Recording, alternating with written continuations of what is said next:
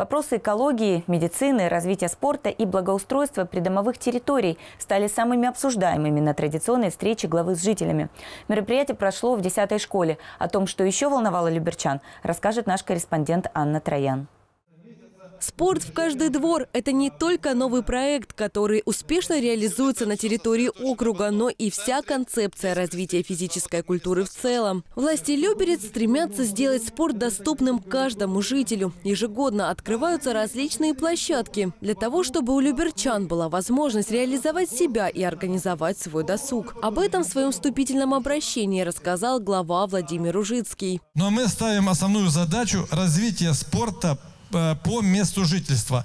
Поэтому я могу вам сказать, что э, мы за последние года три сделали такой качественный э, рывок в развитии. В Люберецком городском округе создано и работает 265 дворовых спортивных площадок. За то, что власти так активно продвигают спорт, жители неоднократно благодарили представителей администрации. Пользуясь случаем, Люберецкая федерация самбо попросила поддержки, а жители городка Б обратились с просьбой создания льготных абонементов в ФОКе. В свою очередь не растерялись и интеллектуалы. Попросили выделить постоянное помещение для шахматного клуба. Я поручу интеллектуалу у нас в администрации, закончил языки физтех Андрей Николаевич Серов.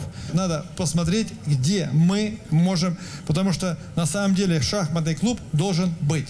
Благодарили представителей власти и за новые игровые комплексы. Жители попросили установить там видеонаблюдение. А тех, кому пока приходится гулять с детьми на соседних площадках, обнадежили, что и их дворы на поселке Калинина внесут в план по комплексному благоустройству. А еще жителей того же микрорайона волнует отсутствие сливов для воды на дорогах. Сливы будут на, этих дорог, на этой дороге, потому что постоянно осенью, весной, когда тает снег – все время стоят лужи. Пройти невозможно. Везде, где э, у нас заходит подрядчик на э, работы, сначала проводятся э, определенные изыскания для того, чтобы понять сторону уклона, вот, для того, чтобы отвести воду со двора. И там, где это возможно, это все везде делается. Также на встрече остро стояли и вопросы медицины. Отсутствие узких специалистов и нехватка врачей в поликлиниках не первый год мешают люберчанам лечиться, как полагается. Собственное здоровье волнует и тех жителей, которые неоднократно фиксировали вредные выбросы в атмосферу. Тема экологии на территории городского округа вызвала бурное обсуждение.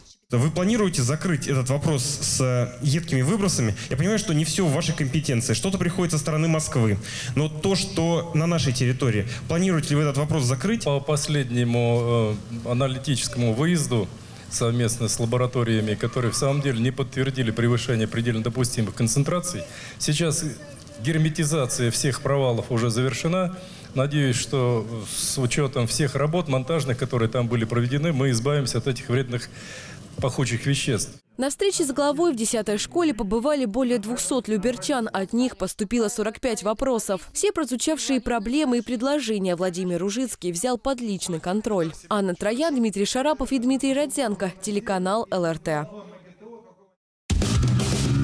Всем привет! Я Наталья Григорьева. Вы смотрите ЛРТ. Подписывайтесь на наш канал на YouTube, ставьте лайки и всегда будьте в курсе интересных событий.